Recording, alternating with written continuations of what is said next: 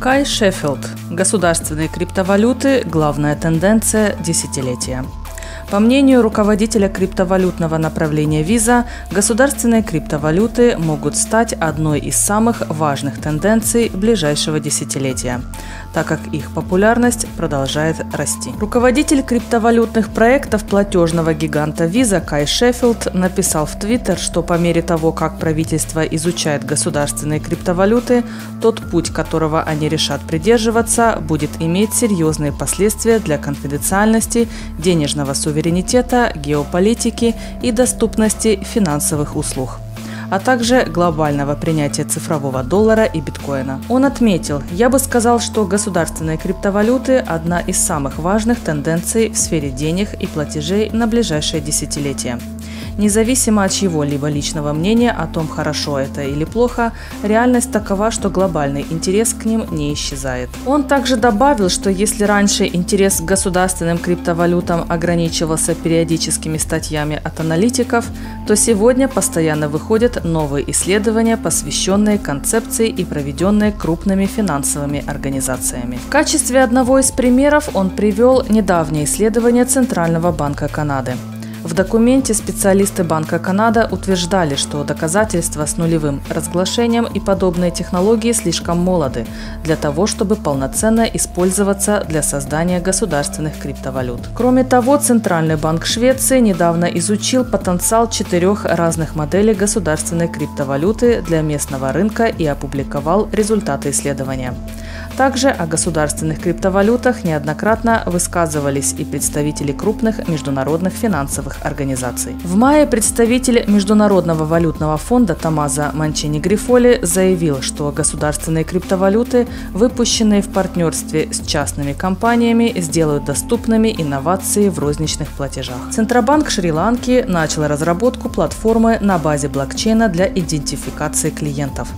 Центральный банк Шри-Ланки выбрал три стартапа, которые приступили к разработке доказательства концепции POC – системы идентификации клиентов в банковском и государственном секторе. Центробанк намерен создать механизм на базе блокчейна, который позволит государственным органам, банкам и финансовым организациям безопасно обмениваться данными о клиентах на территории всей страны. Директор отдела платежей и расчетов Центрального банка Шри-Ланки Дику Маратунги сообщил, что ранее банк пригласил фирмы по разработке программного обеспечения, которые готовы принять участие в работе над национальным проектом. Банк получил 36 заявок от местных и международных организаций, из которых уже отобраны три подходящих подходящих кандидата. Кумаратунге не обнародовал название выбранных фирм, однако сообщил, что одной из них является иностранная технологическая фирма. Разработка новой платформы займет от 6 до 9 месяцев. При этом фирмы будут работать над проектом бесплатно. Когда работа над POC будет завершена, Центробанк Шри-Ланки протестирует платформу совместно с Национальным платежным советом страны и несколькими местными банками. Кумаратунге ожидает, что блокчейн ускорит регистрацию новых клиентов, снизит административные расходы и расширит доступ к финансовым услугам в стране. Напомним, что в ноябре прошлого года группа разработки финансовых мер борьбы с отмыванием денег представила черновик руководства по цифровой идентификации для государственных органов и регулируемых субъектов, чтобы обеспечить соблюдение правил борьбы с отмыванием денег и финансированием терроризма. Это руководство также относится к компаниям, работающим в области криптовалют и блокчейна. Банк Японии начинает эксперименты с цифровой иеной. Банк Японии объявил, что начнет эксперименты с цифровой валютой Центрального банка CBDC чтобы проверить ее выполнимость с технической точки зрения. Банк Японии хочет оцифровать наличные деньги, но еще неизвестно, сможет ли Япония догнать Китай, который уже начал тестировать свой собственный CBDC. Это первый раз, когда Банк Японии объявил, что начнет процесс проверки концепции POC с цифровой иеной.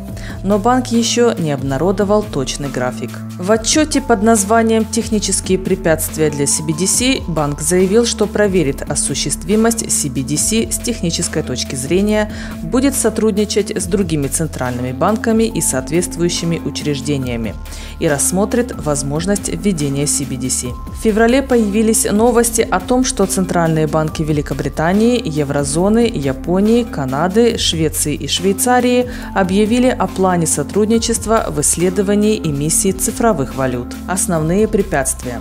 Банк Японии считает, что есть два основных технических препятствия – универсальный доступ и устойчивость.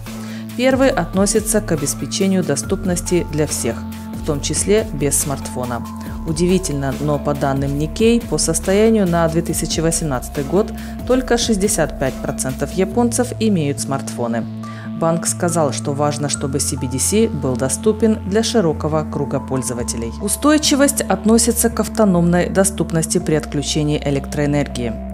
Банк Японии подчеркнул важность доступности в любой среде, даже в чрезвычайной ситуации, такой как землетрясение. Цифровая иена и блокчейн – Банк Японии рассматривает вопрос об использовании блокчейна для CBDC. Централизованная система обладает преимуществами большой емкости и высокой скорости транзакции. Но вся система может выйти из строя одновременно из-за существования единой точки отказа. В отличие от этого, CBDC на основе DLT могут преодолеть одну точку отказа и продемонстрировать устойчивость, но требуют большого количества времени для проведения транзакций поскольку сети блокчейна требуют консенсуса между несколькими валидаторами. Как централизованные, так и децентрализованные типы имеют свои плюсы и минусы. В случае массовых транзакций для случаев розничного использования в развитых странах лучше принять централизованный тип – в случае, когда сумма транзакций ограничена и устойчивость и будущая возможность являются приоритетными, есть возможность рассмотреть децентрализованный тип, отметили в банке. По сообщениям, в апреле цифровой юань Китая был протестирован в городах Шэньчжэнь, Чэнду, Сучжоу и Сюнган. Стартап, ZAP и Visa выпустят платежную карту для биткоин-платежей. Разработчик популярного Lightning кошелька Zapwallet Джек Маллерс сообщил о начале открытого бета-тестирования продукта Strike. С его помощью пользователи смогут осуществлять платежи в биткоине через прямые банковские переводы. Мы присоединились к программе FinTech Fast Track от Visa – она подразумевает ускорение интеграции с блокчейн-стартапами и предоставление ее участникам ресурсов и поддержки на каждом этапе, сообщил Малерс в интервью. Основной задачей на этот год в ZAP ставит запуск карты Strike для пользователей потребительского приложения и интеграцию в него сервиса быстрых платежей Visa Direct. В этом году участником программы Fast Track стал стартап Fold, который анонсировал выпуск дебетовой карты Visa для получения кэшбэка в биткоин биткоинах. Помимо этого, существует выпущенная Coinbase дебетовая карта, позволяющая расплачиваться криптовалютой. Какой вариант будет предложен держателям карты ZAP, неизвестно. Малерс планирует конкурировать с приложением Cash App от компании Square Джека Дорси и картой Coinbase за счет более низкой стоимости. В Strike у пользователей появится уникальное доменное имя, которое они смогут использовать для отправки биткоинов, просто сканируя QR-код. Похожий сервис под названием Ethereum Name Service создан в экосистеме второй крупнейшей криптовалюты. Strike не является криптокошельком и будет конвертировать биткоины в доллары на стороне сервера для зачисления их на счет пользователя. Это позволит переводить биткоины любому человеку, владеющему картой или счетом в американском банке, а также перенести налоговые обязательства по конвертации на посредников. Предусмотренный в Strike публичный идентификатор не будет связан с адресом биткоин-кошелька. Ответственность за управление ими ляжет на плечи стартапа. Таким образом, можно будет, например, отправить перевод создателю контента, не раскрывая персональные данные друг другу. Visa подтвердили информацию о работе с ZAP, но не предоставили пояснения. Напомним, накануне биржа Binance подтвердила запуск криптовалютной дебетовой карты в партнерстве с Swipe. Информация об этом появилась на официальном сайте компании, но позже исчезла. Ассоциация юристов округа Колумбия одобрила принятие платежей за юридические услуги в Вашингтоне в криптовалютах. По сообщению Bloomberg, работающие в Вашингтоне юристы получили право принимать криптовалюту в качестве оплаты за свои услуги как заявила Ассоциация юристов округа Колумбия в своем этическом заключении.